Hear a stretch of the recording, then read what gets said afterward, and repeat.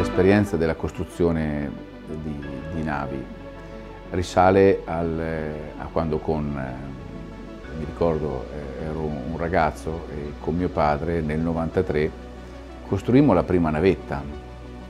Sembrano passati mille anni, ma nel 1993 le barche si costruivano nelle sale tracciato, che erano, erano, era un piccolo capannone dove veniva riprodotta una, una barca scala 1-1 e tagliato pezzo dopo pezzo.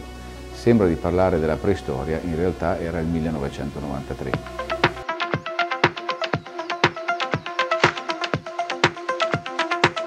La mia prima barca dislocante mi è rimasta ovviamente nel cuore, eh, perché per costruirla ci dovevi mettere una grande passione e c'era un'anima.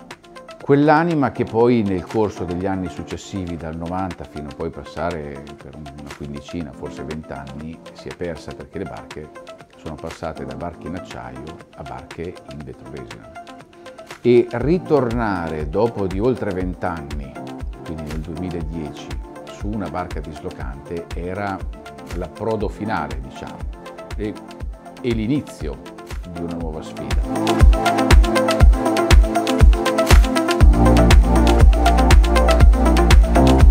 Explorer c'erano già nel 2010, c'erano qualche cantiere che costruiva Explorer.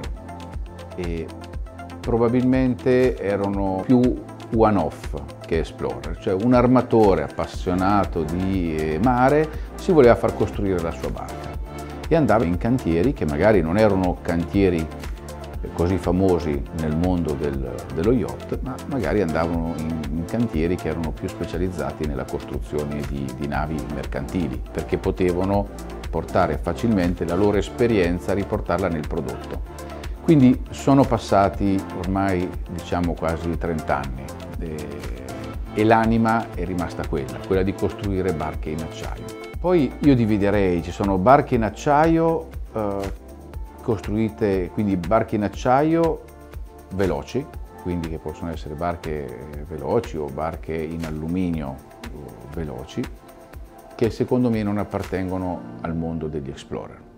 Per essere un explorer deve essere costruito ovviamente scafo in acciaio e sovrastruttura in lega leggera, devono, avere, devono essere barche dislocanti e noi abbiamo solo costruito barche dislocanti, tranne un paio di barche semidislocanti, ma in ogni caso noi abbiamo solo costruito Explorer.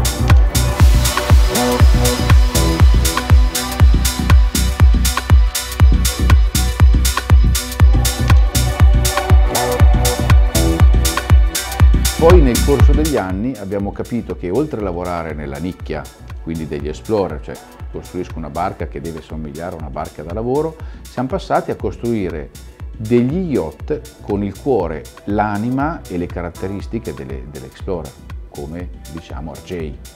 RJ è un Explorer, RJ non è un motor yacht ma è un Explorer, ha oltre 5.000 miglia di autonomia e ha tutte le caratteristiche di spessore dei materiali, di ridondanza degli impianti come un Explorer. Quindi posso affermare che Cantiere delle Marche ad oggi leader, uno dei leader, dei protagonisti del mercato, costruisce solo Explorer Yacht.